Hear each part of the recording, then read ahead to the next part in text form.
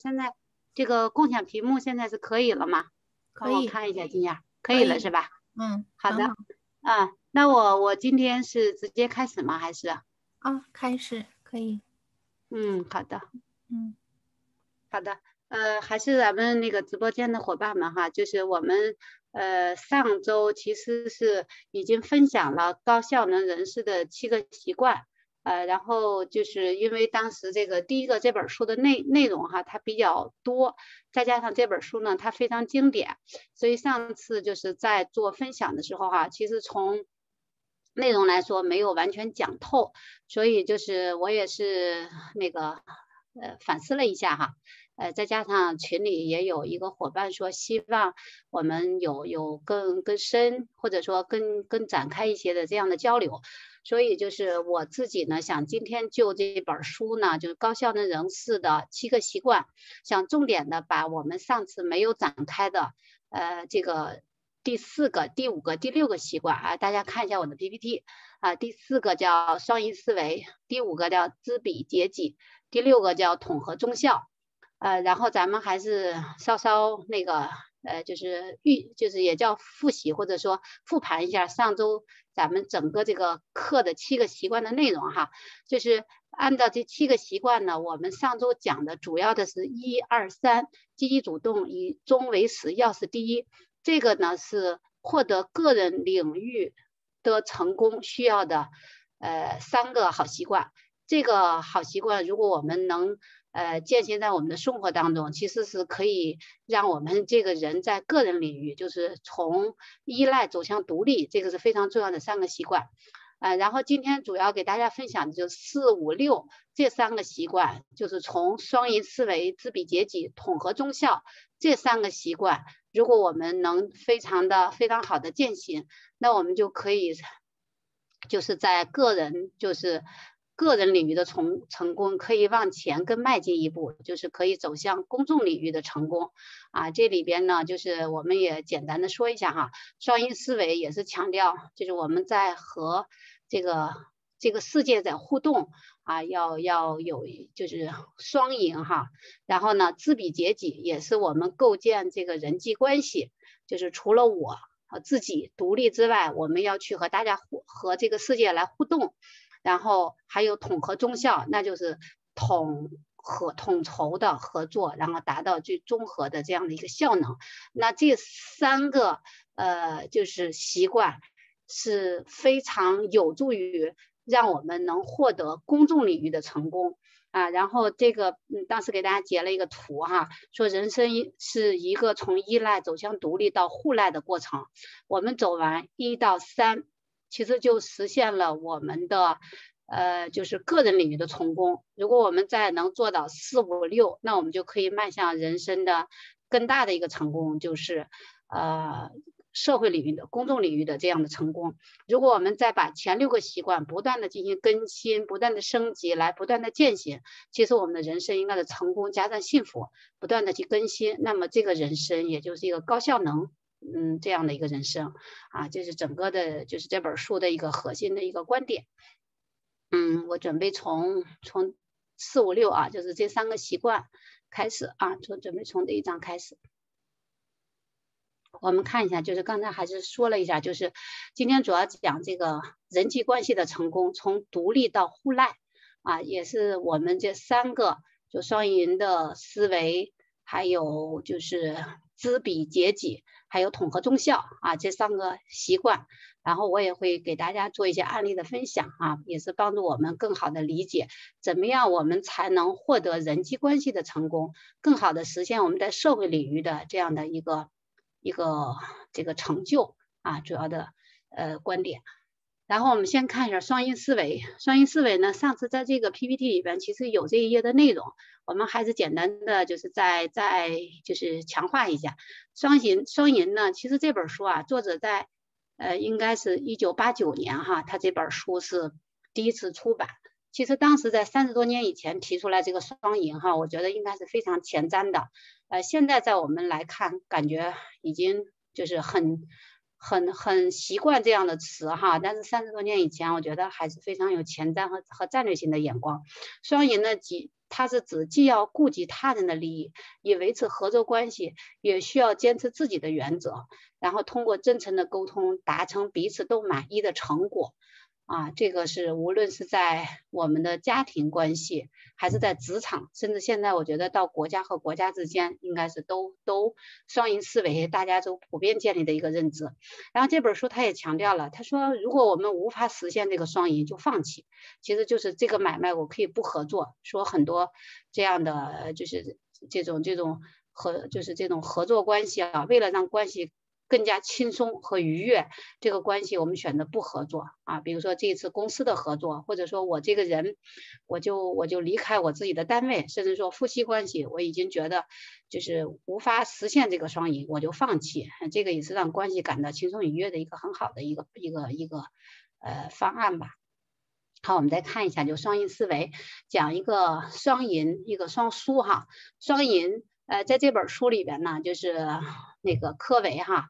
呃，他也就这个作者，他他在，因为他首先是一个大学的老师，另外呢，他又是做经常到企业去做培训的，所以呢，他在讲课的时候，他呃在这本书里记录了他当时讲课的一个情况，就是他邀请一个人上台跟他扳手腕儿啊，然后让学员儿，然后同时邀请那个第三方，说请你来赞助一下，可以吗？就第三方你来当裁，或者你当裁判，或者说。呃，你来帮我赞助一下，然后这个第三方好，然后他们定了个规则，就是如果谁赢了就给谁一块钱啊，然后呢，这样就是比赛就开始。开始的时候，因为这个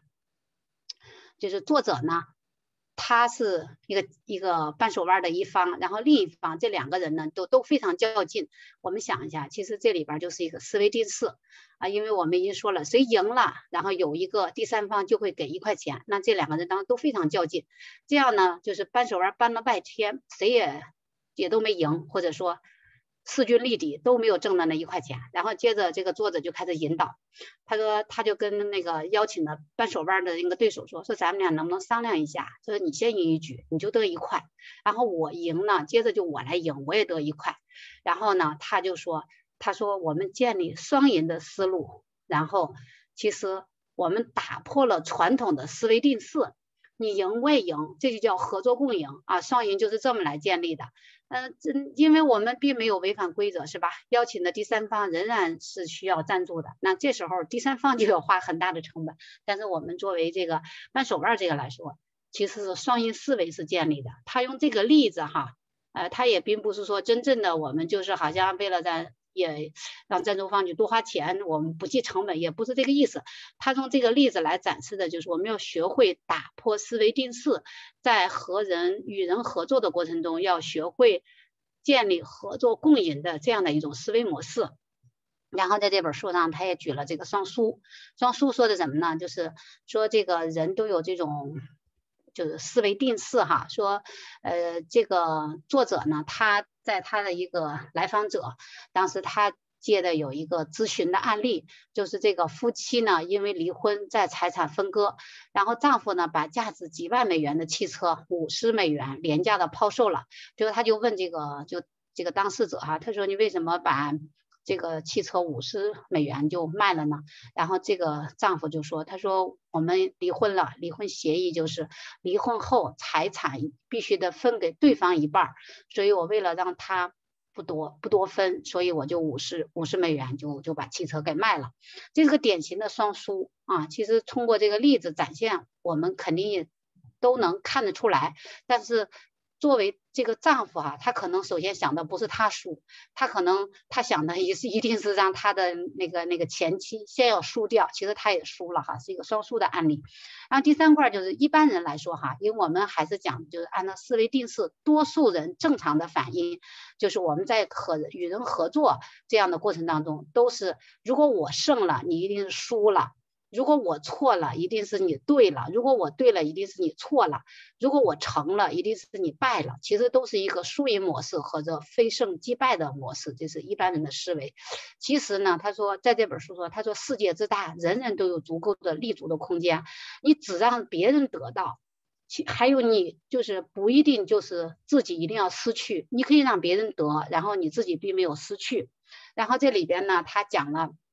人际交往有六种模式，双赢，双赢是作者看出来的六种交往模式，他极力赞成的就是要要建立双赢思维，就是你自己也得利，别人也也得利啊。现在我们其实倡导的国家之间的这样的国国际关系的建立都是这种双赢哈，互助、合作、共赢的哈，都是这样的主题词。好，还有两败俱伤，刚才我举了这个双输，就这个意思啊，书可能写错了啊。然后第三个就是损人利己。损人利己就是我把别人的利益占了，然后别人是吃亏了，我是占便宜的，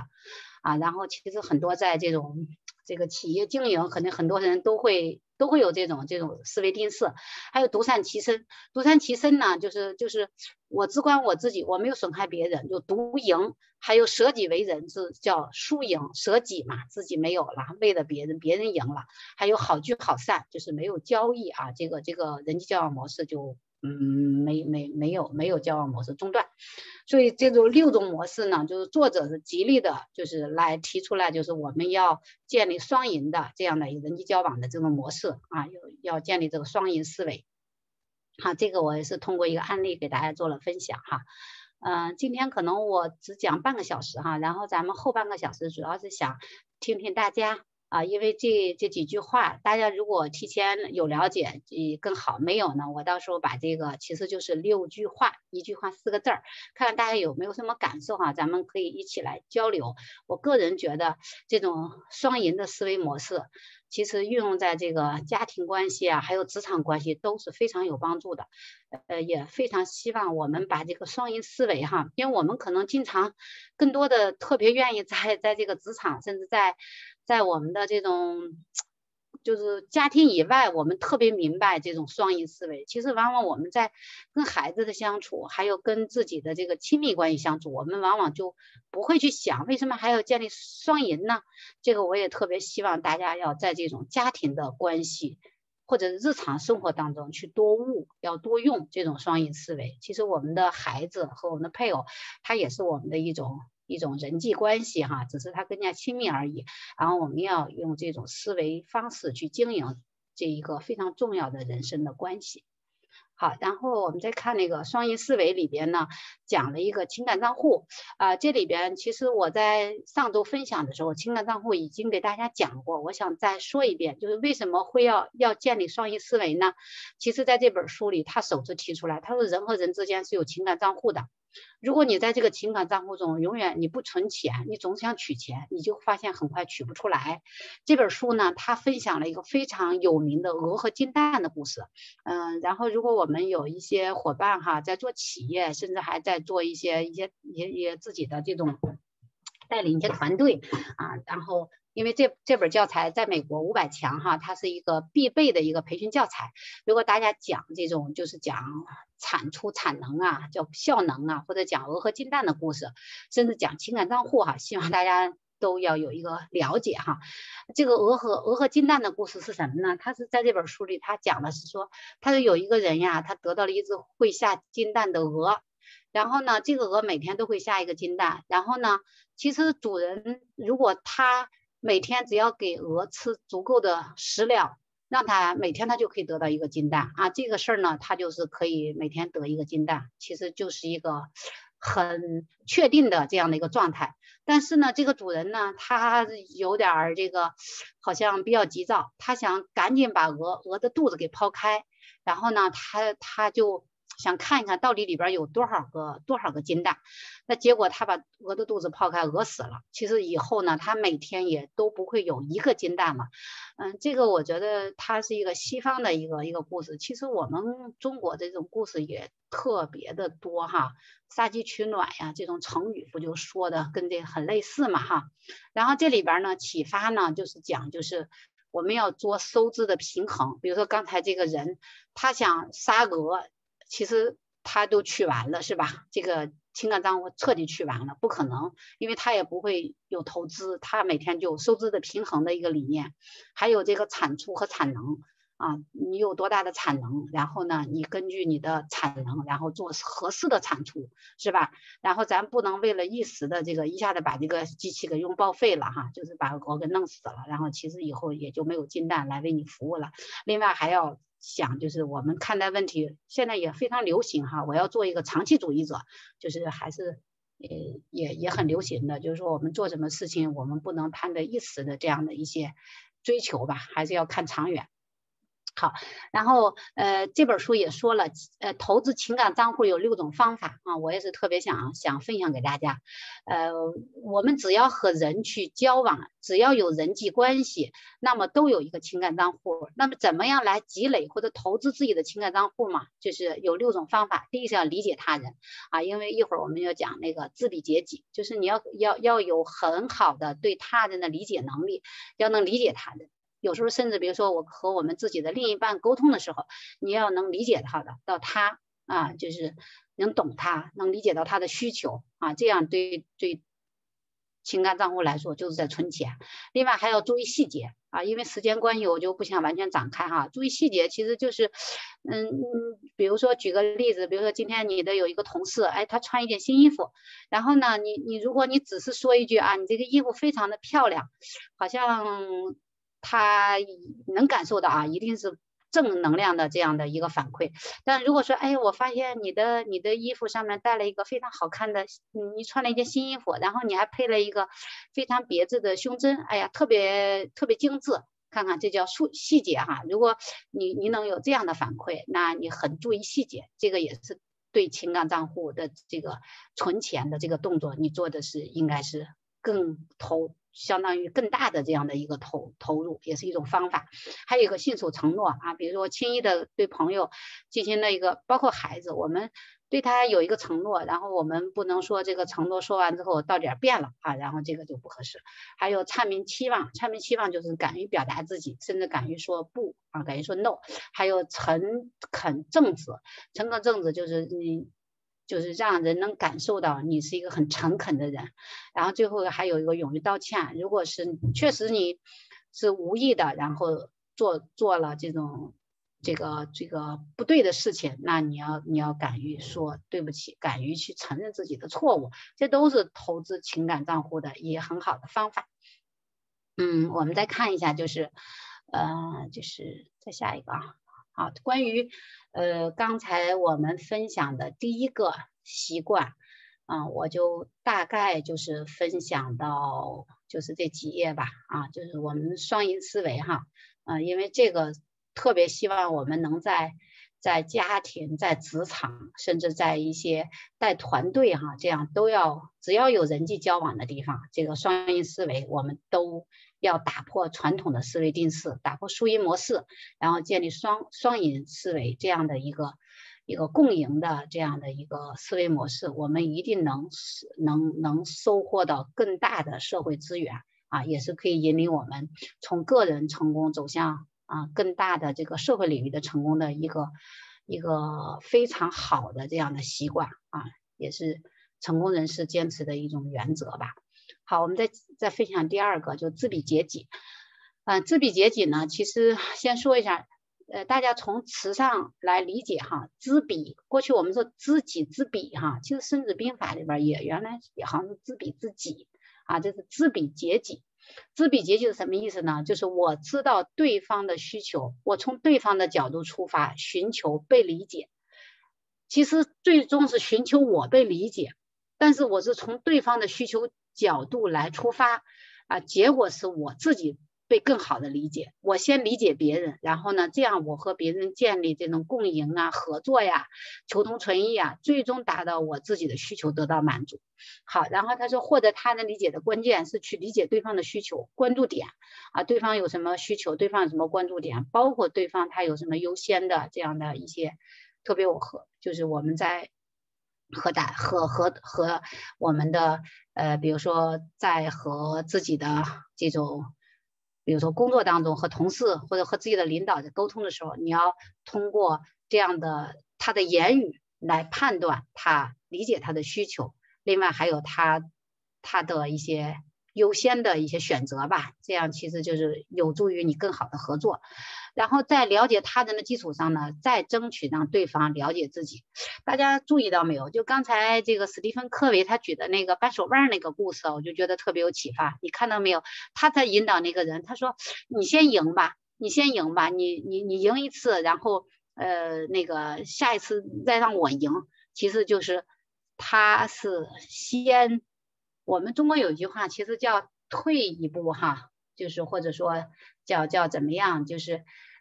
在了解他人的基础上，然后咱们以退为进，先让别人得到一定的利益，然后其实最终别人也会更好的让我们自己来受益啊，这个就是。中国有句话叫“退一步海阔天空”，好像也不完全是那个意思哈，但是这个表达的就是一定是，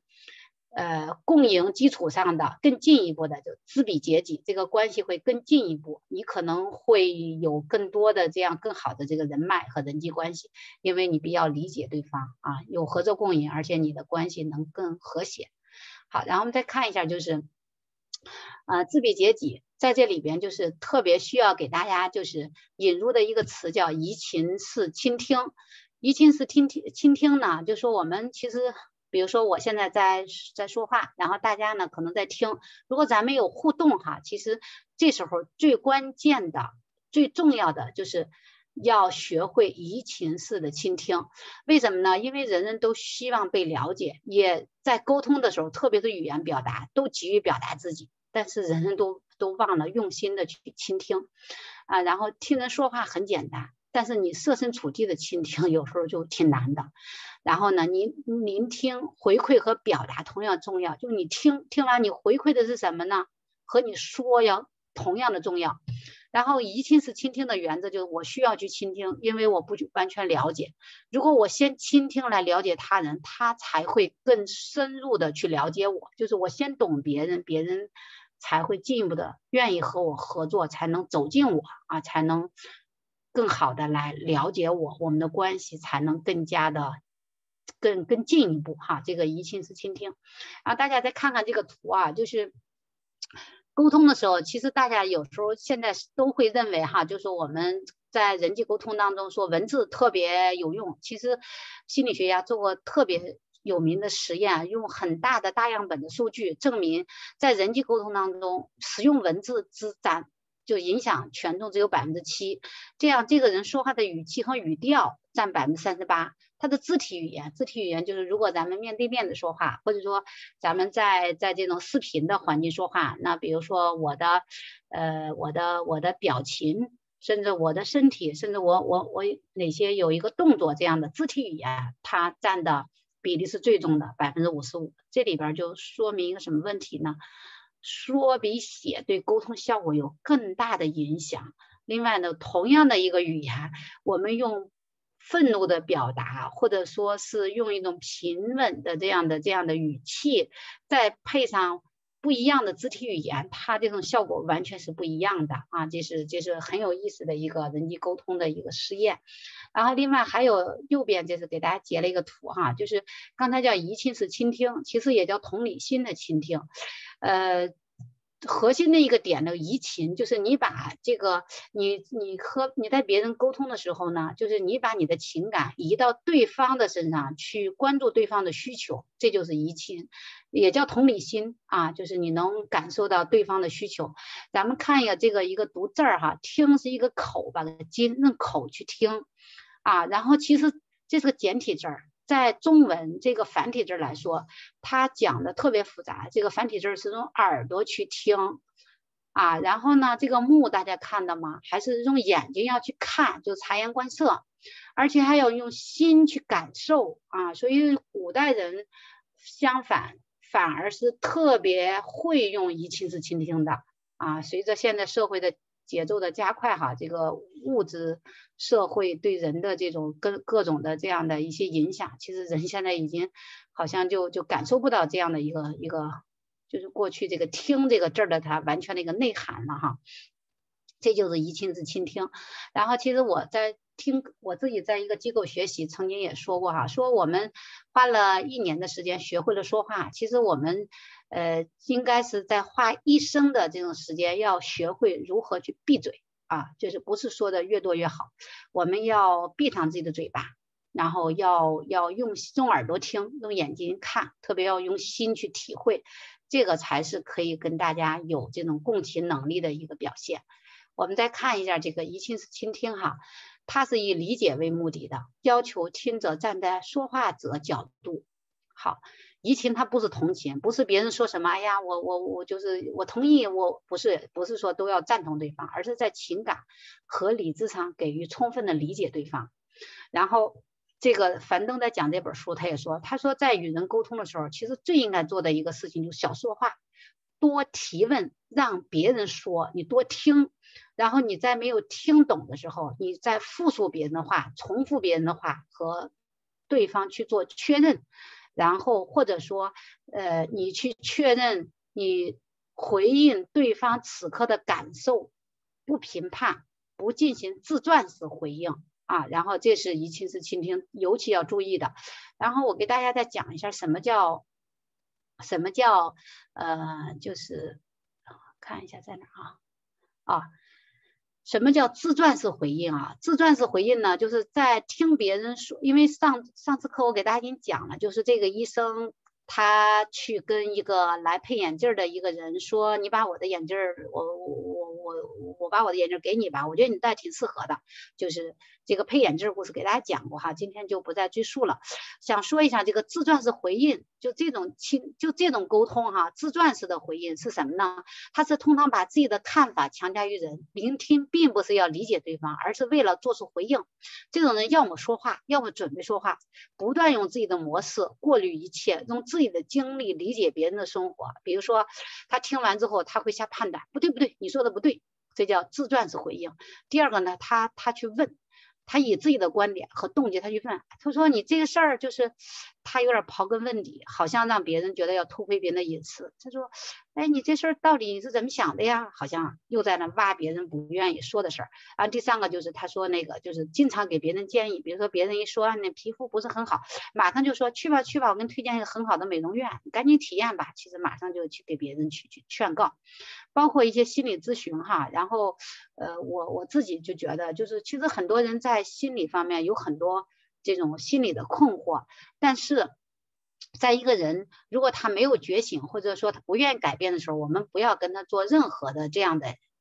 建议和劝告，因为有一句话说是我们没法唤醒一个沉睡的人。你给他建议，其实就是自传式回应，他不需要，他理解不到那个层次，那就是他自己就可以在黑夜当中慢慢的摸索，等到有黎明来的那一刻，他自然就醒了。这个也是自传式回应啊。还有一个诠释，诠释就是给别人的这种以自己的经验来诠释他人的动机和作为。其实我们在想，就是每个人我们对世界做的这样。就是我们在和别人去沟通，我们无论说怎么给别人这种建议啊、判断，其实都是你自己按照你自己的这种经验呀，你自己用自己的这个思维模式来做的这种回应，你没有去理解别人的诉求，这个就是自传式回应哈。然后给大家说一下，然后在这里边就是为了让大家更好的理解，就是。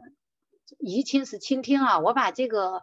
我把这个关于就是一个儿子和爸爸沟通的这个案例，我敲上去的是书上的一个案例，我就给大家读一下啊，就是他叫移情是聆听，他的儿子说上学真是啊，就敲错了，真是太无聊了，咱们邻居约翰就辍学了，后来开了修理厂，我觉得挺好的。爸爸他是这么说的，你对上学有很深的挫败感是吗？儿子说没错，学校学的东西根本不实用，修理厂的工作只要动。动手能力强就可以了，不需要整天背一堆没有用的公式，简直太无聊了。爸爸说：“你是觉得读书对你没有什么用是吗？”然后儿子说：“对，你看约翰现在修车技术一流，这才实用。”爸爸又说：“你觉得他的选择是正确的？”儿子沉默了一下，爸爸说：“我觉得他的选择或许是正确的。”儿子说：“嗯，从某个角度看，确实是这样。现在他收入不错，可能几年后他或许会后悔。”爸爸说：“你认为将来他会觉得？”当年他做错了决定，儿子说一定会的，教育程度不高，今后肯定会吃亏。然后爸爸再说，你是说教育很重要？他说对，如果高中没毕业，一定找不到好工作。爸爸有件事我很担心，你不会告诉妈妈吧？然后，嗯，你不想，呃，爸爸也还说你不想让妈妈知道，他也不问什么事儿啊。然后儿子说不是，其实跟他说也没关系，反正他迟早会知道。今天学校进行阅读能力测试，我只有小学。小学程度，可是我已经高二了。你看看这句这个里边的就是在书里哈，他是把这个案例就说叫移情式的聆听，他这个父亲什么都没做，他是一遍一遍说出了孩子的感受。啊，他准确反映了对方的情感。你看，他就是，其实我们如果不会反映对方的感受，你就复述，就这个。他说上学真是无聊透了，他就给他换了一个，就你对上学有很深的挫败感是吗？就是孩子好像对上学这个事儿就是有很深的挫败感，或者就爸爸只要说一句，你是觉得上学很无聊是吗？如果你不会，你就复述对方的话。如果你再高级一点，你就说出对方的感受和对方去做确认，然后就叫移情式聆听。好，这个通过这个例子啊，希望大家能感觉一下。好，第六块就是一个关于统合中效啊，统合中效，呃，给大家说一下，其实这个事儿呢，就是是一个呃统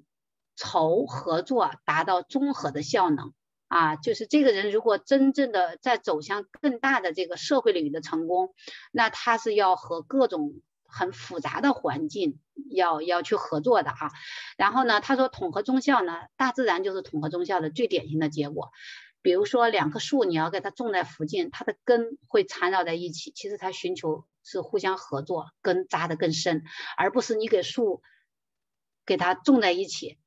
这两个树的根就老死不相往来，不是这样的，所以大自然就很神奇。另外呢，统合中效是一种心态啊，有分歧才会有收获。然后其实我们的思维传统的思维定式就是，只要我跟谁有分歧，我就会对谁有意见；只要谁跟我想的不一样，我就会觉得那个人他就跟我有仇。特别我要是假设啊，你在一个公司要是团队的领导，只要你的下属想的跟你不一样，你一一定会。认为他在要他在和你作对，所以这就是传统的思维定式和我们应该突破的一些一些地方哈。然后呢，他说，如果一个人呢跟我的意见不一致，那么他的主张必定有我尚未体会的奥妙，值得我加以了解。还有就是这本书还提出来，假如两个人意见相同，其中一个必属多余，他认为意见完全一致才没有沟通的必要。呃，与还有接着与所见略同的人沟通毫无益处，要有分歧才有收获。看看这个在社会领域取得成功的人，确实是有胸怀的啊，他是有包容的啊。中国也有一句成语叫海纳百川，有容乃大啊，有容才能大啊。然后第二呢，尊重差异，要尊重差异，要鼓动大家一起来发挥创意啊，就是统合中效啊一些内涵。好，统合中效，我们看一下统合中效，它里边讲的就是说。呃，有一个图我也截屏了哈，就是我也我也就是把这个图给嗯那个什么给呃图片，然后放到 PPT 里边。就说他说我们在和这个对外的沟通沟通过程中有三个层次，第一个层次其实就是我们最传统的，按照这个表格来说，就是我们是互相提防的，其实还是输赢思维，我们怕别人强，呃，然后呢，我对别人不太相信，就是纵轴表示信赖。然后那个横轴表示合作，我既然对别人不是那么相信，那我也不怎么愿意和别人合作，因为我就开始采取自我防卫啊，因为我认为一合作，要么就是别人损害我了，诶，反正就是肯定是输赢模式。这是沟通的第一个层次，就互相提防。第二个呢，就互相尊重啊，我互相尊重，或者说我妥协让步，因为我有一定程度是相信你的，我也有一定程度的这个合作意愿。这个其实不是最优啊！这本书提出来，我沟通的最高层次是统合中效。为什么呢？统合中效是我对对方也是高高那个高度信任的。另外呢，我的合作的这种意愿也是最强烈的，因为我知道和你合作，我相信你。另外与你合作，我对我自己有利，也对你有利，而且我们可以长久的更好的合作。好，这个就是统合中效要表达的，在沟通当中我们的一个思维模式。好，然后最后就统合中校说，我们要如果带团队，我们要尊重差异啊。当你看到别人与你不同意见的时候，最好的回应方法是什么呢？第一个，你要学会说，哦，我感受到你不同意我的意见，我很想听听你的想法。如果我们在一个企业做团队啊，带团队，或者说你是一个什么 leader，希望你能经常学会说这句话啊，而不是说内心产生了很多的这样的一些对话啊，他怎么不听我的？他怎么回事？先给我较劲是吗？然后呢，接着我们如果在组织我们的团队讨论的时候，我们还要学会引领大家的创意。咱们可以说第二句话，咱们能能能不能一块儿创造一种更好的方法呢？啊，我们一块儿去创造出来更好的方法，达到综合的这种效能啊。我们统筹合作，达到综合的效能。好，那我今天就是我就讲这么多吧，然后剩下的时间咱们可以互动交流，好吧？啊，大家我把我把这七个习惯放到这儿，然后咱们咱们还是互动一下啊，季安老师。好，嗯，谢谢怡心老师的精彩分享，下面进入互动，嗯，请大家举手发言，或者是插在里面留言。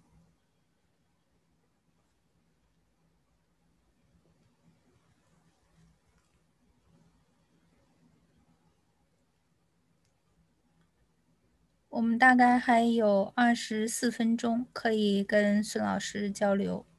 所以请大家珍惜这一点时间。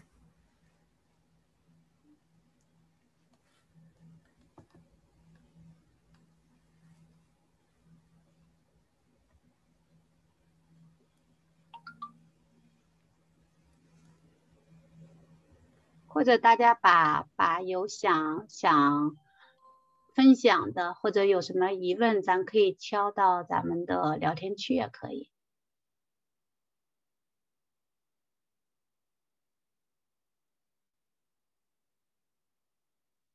看看。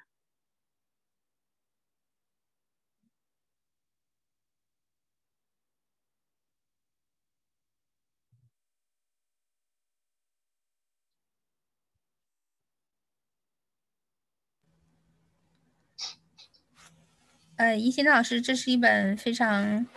非常经典的这个书籍哈。呃，有一位 iPad 的朋友说了，双赢需要双赢需要双方努力，一方努力是是不是做不到？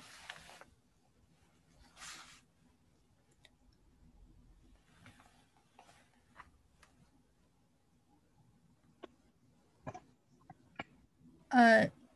怡心老师，您能回答一下他的问题吗？嗯，我刚看到了，就是双赢需要双方努力，一方努力是不是做不到？嗯，尝试一下吧，我觉得应该有点难，但是如果你不迈出来第一步，那是就没有第二步了。啊，我们可以可以，就是我不知道你这提的双赢是在什么样的一个环境？你是在和？是职场还是在家庭？这样吧，怡心老师，我把大家的话筒放开吧，这样他们可以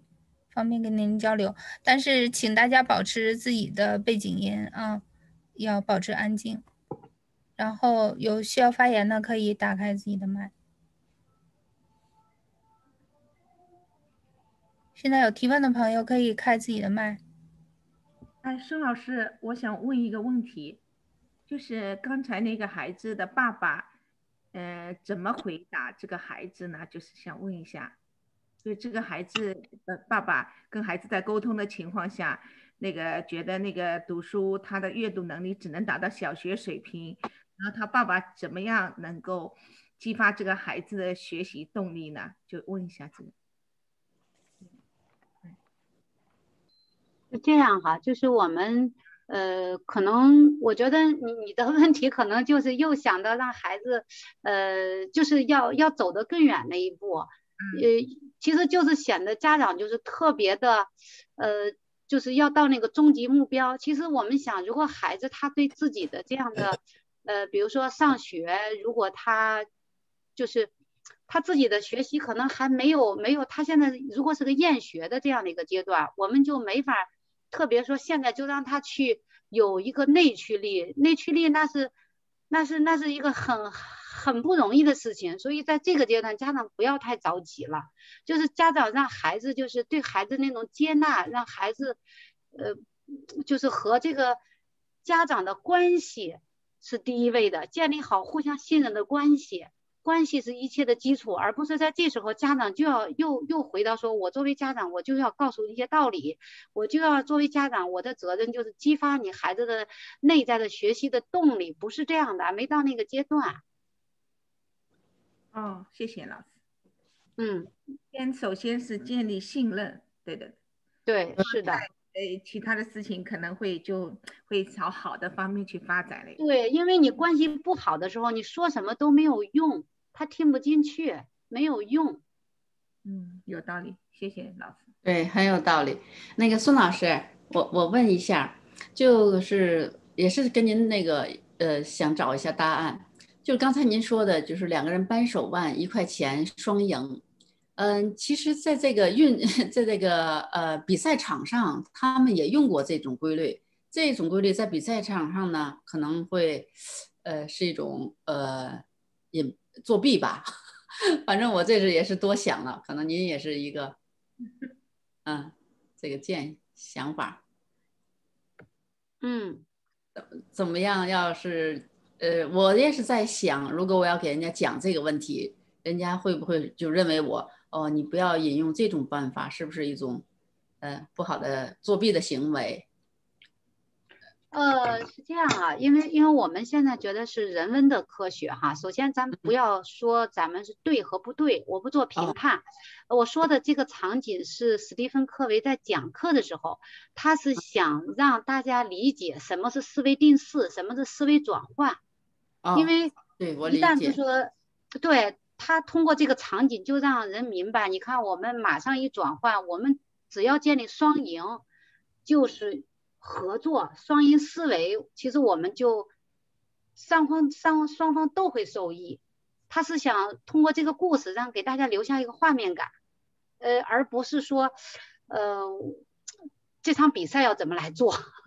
啊，我就是打破一个一个大家的思维定式啊。他用这个故事来说，其实才是让大家印象会比较深刻，这是我的理解，因为它并不是一场真正的比赛。对对，我我理解，非常理解。一会儿您有空的时候把那个书的平面照一下，我可能刚才没看到。嗯，好，谢谢。好的，我我课件我发到群里那个课件的第二页就是这本书的封面。嗯，我这个是最新版的，是他。因为史蒂芬·科维他在一二年已经去世了，他这是八九年这本书首次出版之后三十有三十周年的一个重新印刷的这一个版。嗯，这个书的名字叫什么？我就是高效能人士的七个习惯。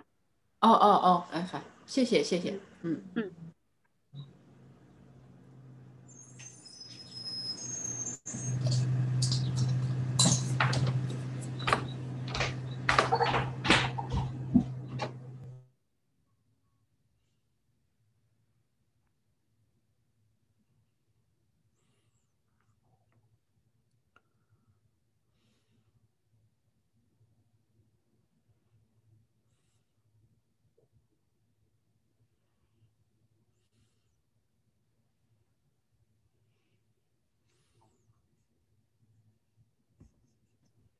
孙老师，我想问一下，啊，就是像呃，您讲到移情式倾听，能听到吗？嗯，我听着呢，嗯，听着呢。是，呃，那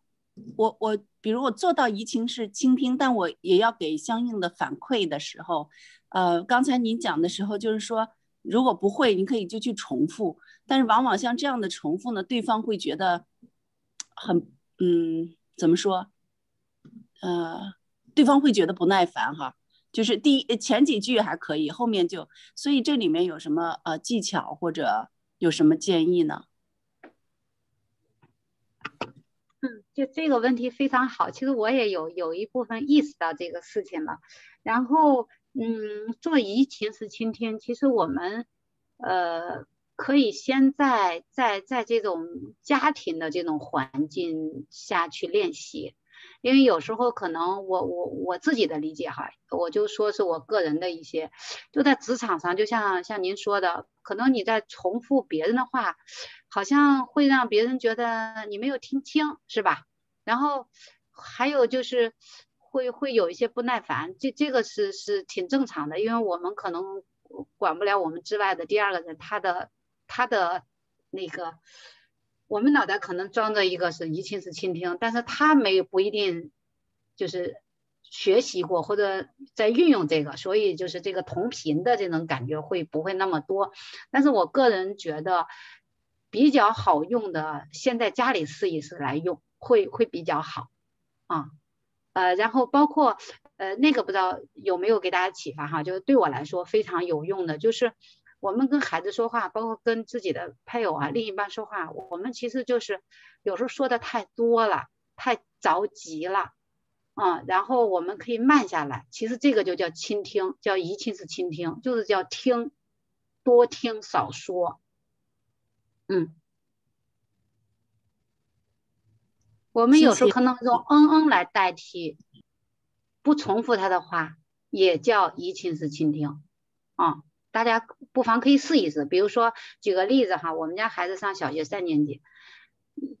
就是。有时候我可能要显得比较着急的去，去去对他的什么事情要要要去关注的话，他反而会觉得我在打听他的事儿，他就很防备。但有时候我就好像比较，嗯，就是那种也就是比较也也不太急于去问他的什么事儿，然后他说什么呢，我也不怎么去去回应，或者说那个什么，就是哎。就是我说我听得多，我说的少，反而他他自己就说，他就是你说多了，他就不说。然后呢，你要嗯，然后你把肢体语言，就是对孩子哈，肢体语言更多的就是表示自己在听，又比较真诚。然后其实你用眼睛看着他，就让他说。其实这种我觉得就叫移情式倾听啊。谢谢谢谢解答，这样子就好像呃我们在关注，然后呢，我们又没有又又用身体语言来。补充上了，我们没有忽视它。对对，在职场上的我没有完全找到，但是我我感觉就是我们一定要多练习啊，练习完之后可能你就会会精准的表达啊。比如说我们在职场当中，我怎么样来精准的表达？比如说别人说一个需求，我可以先说，你说这个事情我理解到你们的需求是什么啊？可能要这么来回应也可以，因为这样还是先站在先。在理解对方的需求，然后呢，这样的话就是基于合作，我们可以建立共赢的、更好的、更长久的这样的一些职场的关系，对自己也是有利的。嗯，谢谢，谢谢。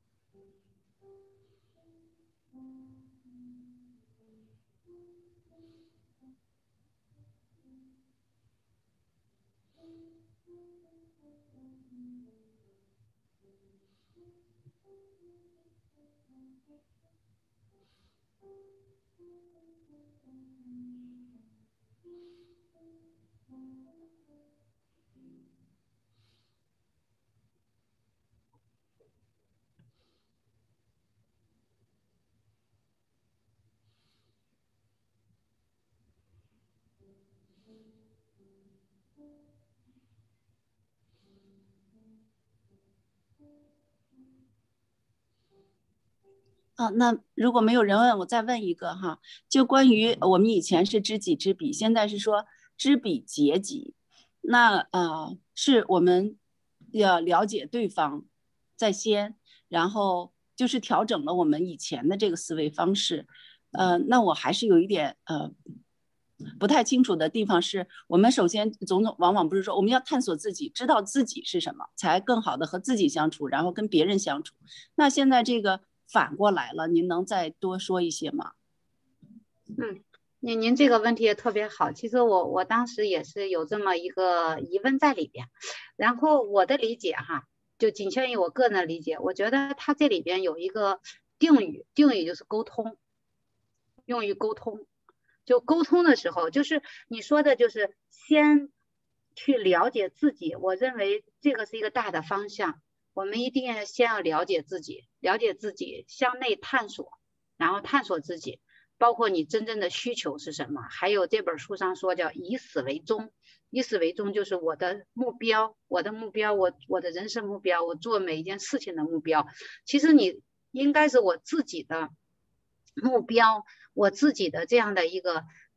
还是在自己心里有数的，因为我们说的是以始为终，这个是第二句话，是七个习惯的第二个习惯。那知彼节己什么呢？是我们在人际关系或者说我们和别人去沟通的时候，我们是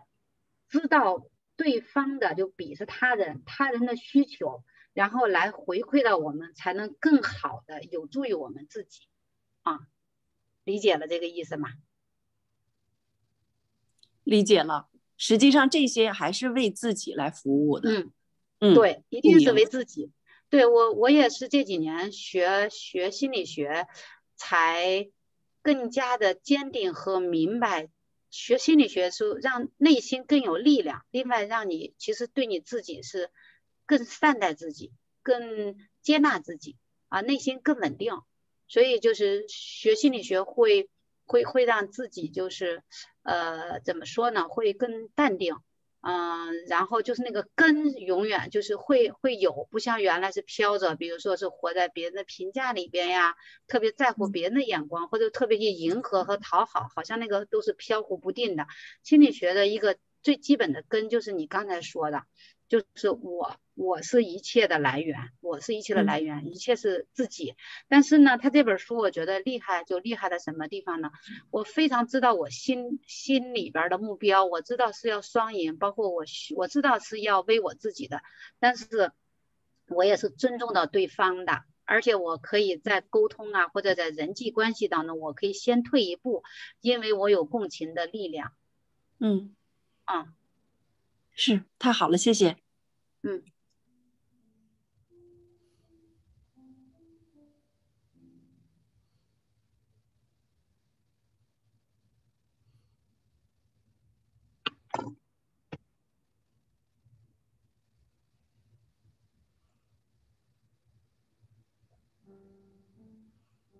啊，这个盖茨写的，Julia 说了有一，我读一下啊。盖茨的离婚，夫妇离婚，理由是我们不再相信在人生的未来，我们可以以伴侣之名共同成长。请你用双赢的理论解释一下，这个是一个很好的一个一个一个话题哈。我我只是说一下我个人的这样的一个一个看法，也仅代表个人的这样的一个一个想法，不一定对。就是这两天大家看到了，就是盖茨和他爱人应该二十几年、二十七年的婚姻哈，他在微博还还是在哪发的？就是，呃，因为我们不再相信在人生的未来，我们可以以伴侣之名共同成长。其实这个要用双赢的理论来解释一下，双赢。嗯，我是觉得，我先说一下，就是在人生的未来，我们可以以伴侣之名共同成长。我先说一下我对前半句话的理解哈，因为我们知道，其实盖茨首先他，呃，他们两个人是二十几年的婚姻，然后接着呢，他是有三个孩子是吧？然后呢，他们其实还有一个背景，就是盖茨的，就是爱人，我不知道叫什么，应该他是一个一直就没有，好像应该是一个。就是没有自己的职业哈，但是他们俩呢有那个，他们有很多那个基金会，包括巴菲特还投资的那种盖茨基金会，做一些慈善的那个公益啊。然后他可能没有自己的事业，我我我大概我了解的应该有这么几个点，就是第一，他的婚姻很长一段一段路啊，然后另外呢，就是盖茨是肯定这个。就是对社会的链接更多，然后他的爱人呢，应该是养育了三个非常成功的子女，然后但是他还没有完全走出家庭。我认为，可能在我个人的我个人角度来看，我是觉得，如果一个女人长期脱离职场，恐怕在这种就是这种共同成长这方面来说，同频这样的这样的就是。可以来有有一些叫我们上次讲的叫灵魂伴侣，我认为就比较难，因为我们讲的这个史蒂芬科维哈，他为什么他在他所有这本书里一直写他和他的爱人怎么怎么怎么样，他每天就是。就是他，他有九个自己的孩子，然后呢，他是跟他爱人是一直要就是要有度假，另外他们俩会骑自行车，还有他和他爱人就老要交流他自己的工作。我认为他们可能就是在此和他爱人的离婚，可能是他们人生的共同语言呀，包括这样的一些共同成长。这种交流，就是精神层面的这种这种互相来来共同成长的这样的这种这种关系，没有原来那么那么近了。然后加上孩子也大了，是不是他那个家庭的纽带也比较少了？因为我看到今天也是偶尔看到一个媒体上说的，说其实他们已经分居了好几年，就是这种亲密关系他已经有中断。然后另外还有一个就是说，就是那个盖茨他他那个夫妇去参加活动，他那个就是就是。他爱人说话被盖茨多次的打断，当时他那个就是盖茨他他老婆就是特别的不高兴，然后，呃，这是我我觉得我看到他婚姻解体的一些原因，然后用双赢的理论来解释一下，嗯，那就是说如果我们不能实现双赢，那我们就不合作了吧，就是我们我们写的那句话，就是。也是在这本书上写的哈，就说人生无非就是有赢赢双赢模式，还有输赢模式，还有单赢模式，还有这种双输。呃，最好的办法就是在这本书提出来，如果我们不能双赢，就是就是那种所谓的单赢呐、双输啊，那我们就选择就是这段关系去终止，就是我们不再合作了，对彼此来说都是一种很好的选择，因为我们可以让我们的关系更加轻松和愉悦。嗯，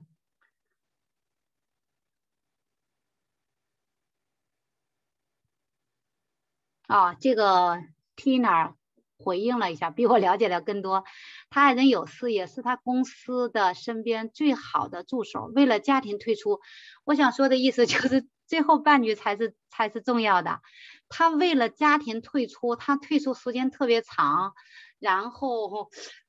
这个其实其实这个两个人的精神层面的交流恐怕就不一样了啊！他为了家庭退出做慈善，大家可以剩两分钟啊！大家其实可以看到国内的刘强东和那个章泽天，大家知道吧？京东的那个第一大老板。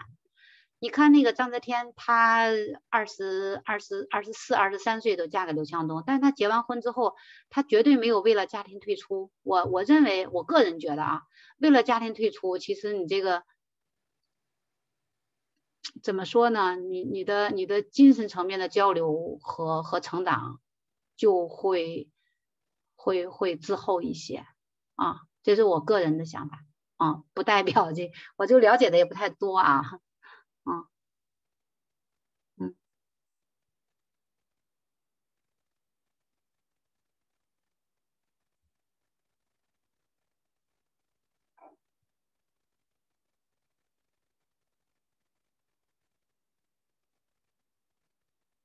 嗯，这个可能也代表了我们这个学院里边可能会觉得女同志啊，为了家庭，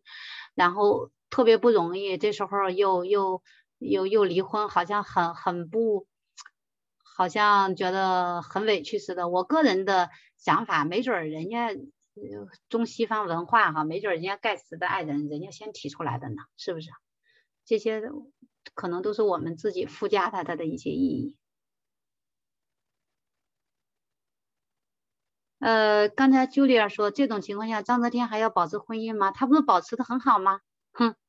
然后刘强东这个个人的事件之后，丝毫没有影响人家，这其实就是一个思维定式和和思维转换的问题。我觉得张泽天很厉害，非常厉害。女同志要学，要要学多学习一些男人的思维，毕竟现在的社会应该是很很怎么说呢？这个社会其实有智慧的人，我觉得不会去按照传统的套路思维定式的啊。张泽天，你不觉得他也在追求一种？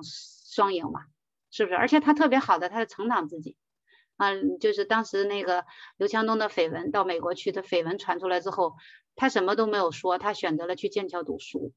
嗯，如果如果如果张泽天靠自己的脸蛋儿就在家里养着，可能他反而更多的认为是受害者，是是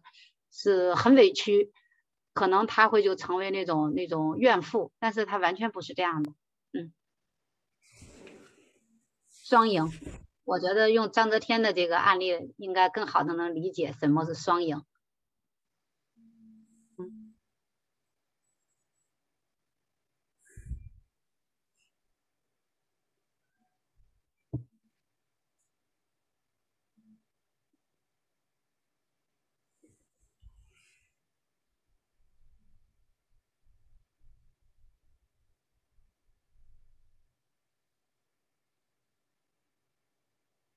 我觉得他保持不保持婚姻是他个人的选择。我们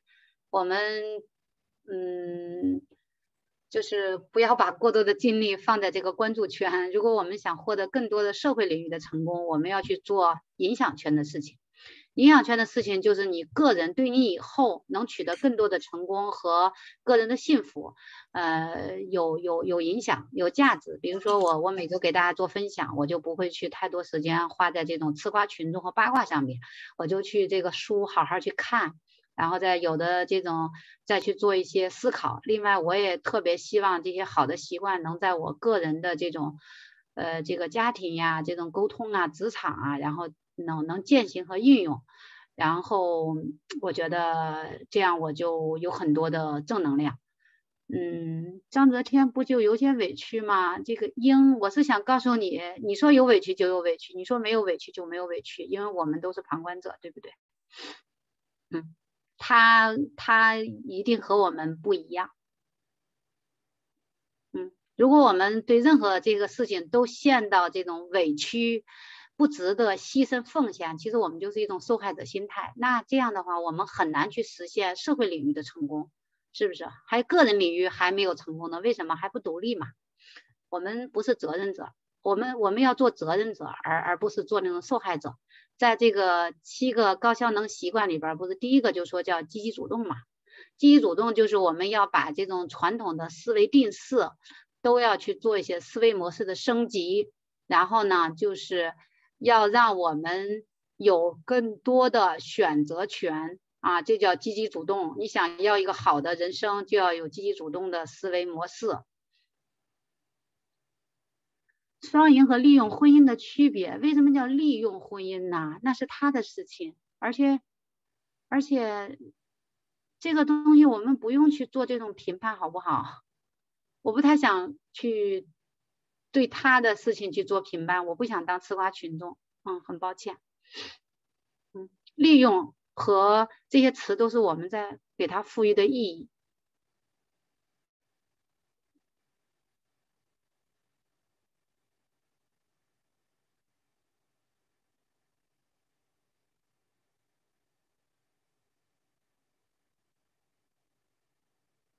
嗯，大家看一下，这个时间差不多了。啊，金阳老师。好的，谢谢一心老师。嗯，因为您接下来还有明天的工作，呃，也感谢大家参与分享。那么欢迎大家下周三继续来参加幸福医生读书会。啊，谢谢一心老师。那我们今天就到这里吧。好，嗯，好的，好的，再见啊。好，再见。好，呃，谢谢一心老师。那个是这样，给大家说一下，呃，我们呃从二十六号开始呢，我们每周的。呃，我们每天呢，就是从六点开始到晚上十点，呃，大家应该大家大大部分都知道了。呃，下边呢，我们今天播放了，呃，马上播放的是一个我们春节春节期间呢，就是我们，呃呃，我我们的一个云居四海，哎，一个栏目啊，云居四海，一个文化云会，呃，它这个这个这个人员流长的上中下，这个文化云会是上中下。这是我们在春节期间推出的，呃，一呃这个呢已经呃在已经呃当时已经都上传那个呃这个我们那个呃这个我们的 YouTube YouTube 上都有，中心的这个 YouTube 上都有，因为中心的每天的每天的活动都很多，这个 YouTube 上我们的视频也是海量的视频，说有些呢可能没有关注到这个。这个有我们在中心呢，呃，断断续续也播了几次，有些可能呃大家呢没有重点去推出，说大家来关注一下这个这上中下，呃，大家呃看看应该是很呃这个文化云会真的呃，我反正我我我我已经看过了两几遍了，真的看了几遍就呃还还想看，确确实实不错，这个他们这个整个汇聚的一些一些就是。文化方面的一些啊，这个一些是呃一些演出啊什么的都文化方面的吧，大家现在可以看一下。我今天来播先播一个，因为这个我要录录了要上传我们网站，我们网站还没有上传，行，我们先把下半部上传，其他的大家可以上 YouTube 或者呃中心网站以后也是也也上传，呃就也可以看到。啊，这个现在可以，大家可以到 YouTube 上去看一下，看一下啊，呃，看看上中下都可以。现现在就播这个下啊，这就是人员流畅的下半部，呃，下下呃就是下部，下部中上中下下部。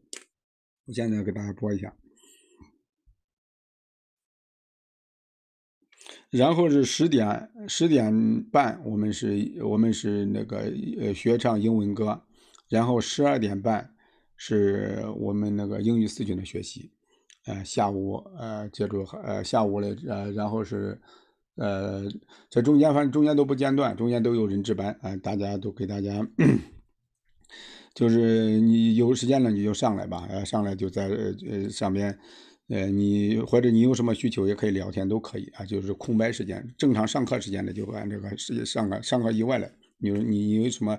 都可以在在里面互动啊，或者要求放什么回放啊都可以。我现在把这个播一下啊，播一下。